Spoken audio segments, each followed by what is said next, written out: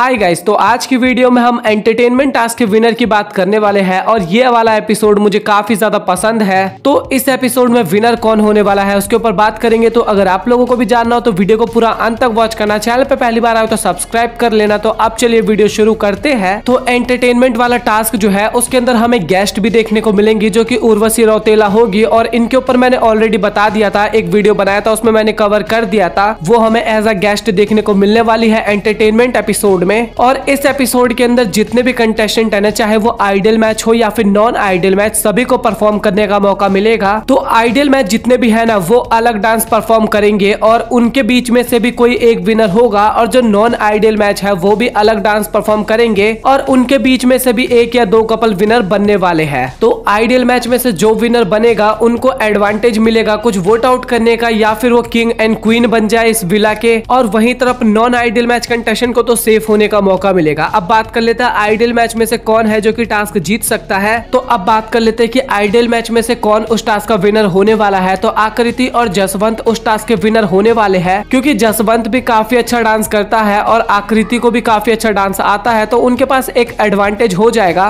और ideal match में से उनके जीतने का बहुत ही ज़्यादा चांस होगा। अब बात कर लेते हैं नॉन आइडियल मैच में से। तो जैसा कि आपको पता है कि सचिन एक एकदम प्रोफेशनल डांसर है तो उसके पास तो वैसे ही एक एडवांटेज आ जाता है और उसके साथ इशिता परफॉर्म करने वाली है और हमने एक स्टेप इशिता का भी देखा है और वो भी काफ़ी अच्छा डांस कर रही थी। तो नॉन आइडियल मैच में से भी बहुत ही ज़्यादा चांस होता है कि सचिन और इशिता उस टास्क के विनर बनेंगे और अगर कोई उससे ज़्यादा विनर होगा तो फिर और भी कंटेस्टेंट विनर बन सकते हैं। बाकी आप लोगों को इसके ऊपर क्या लगता है कमेंट सेक्शन में बताना और अगर आप लोगों को वीडियो पसंद आए तो वीडियो को लाइक करके चैनल को सब्सक्राइब कर देना। सो मिलते हैं आप लोगों से अगली वीडियो में, तब तक के लिए गुड बाय